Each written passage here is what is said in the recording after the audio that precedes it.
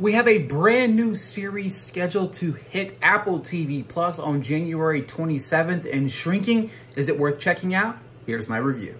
Shrinking follows the story of a grieving therapist starts to tell his clients exactly what he thinks, ignoring his training, his ethics, and he finds himself making huge changes to people's lives, including his own. The series was written by Brett Goldstein, Bill Lawrence, and Jason Segel. Segel also stars in the series alongside of Harrison Ford, Jessica Williams, and Lukita Maxwell.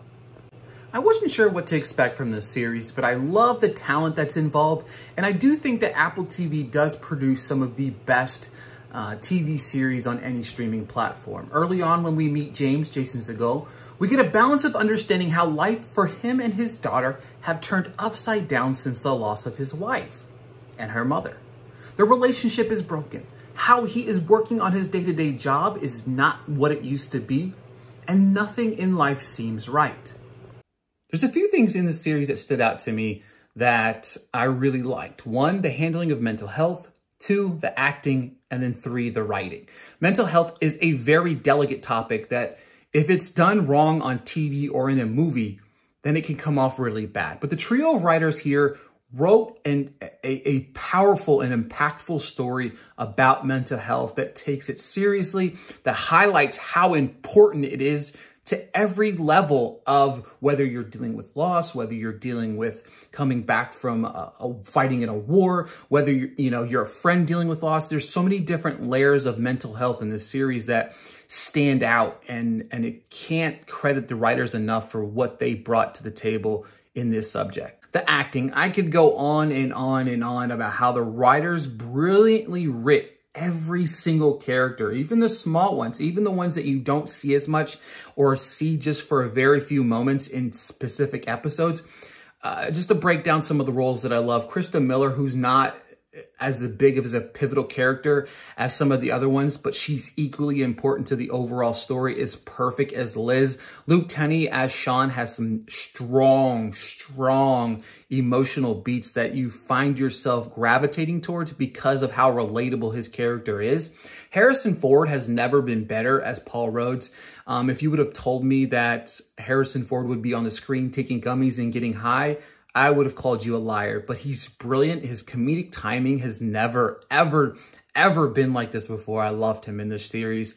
Jason Segel continues to prove that he's an underrated gem of an actor. Uh, I love Segel, and I think that he provides uh, an emotional layer and depth to this series that really shocked me. Two standouts for me, Lukita Maxwell, who's brilliant as James's daughter, Alice. There's many, many emotional beats in this series with her, but one that was stood out to me the most was in episode nine. She has a very pivotal moment where she finally is starting to find herself, but then something happens and a flip of a switch happens and it's like you just your your heart sinks into your chest and you're just heartbroken for her character. All of that said, the MVP of this series is hands down Jessica Williams, who plays Gabrielle.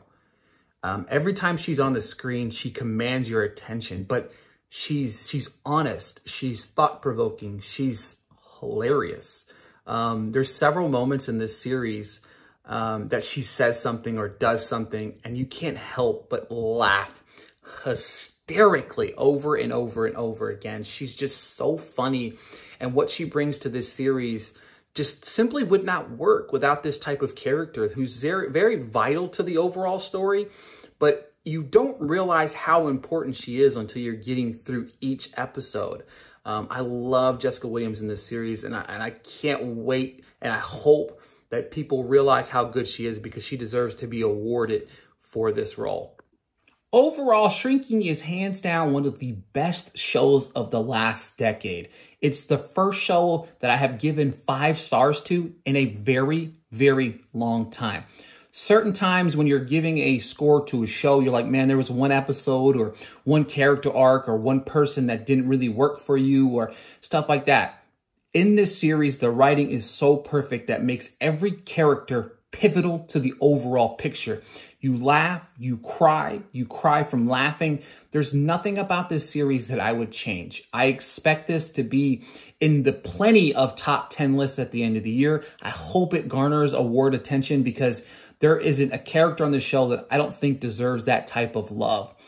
Shrinking drops on Apple TV on January 27th. You don't want to miss this series.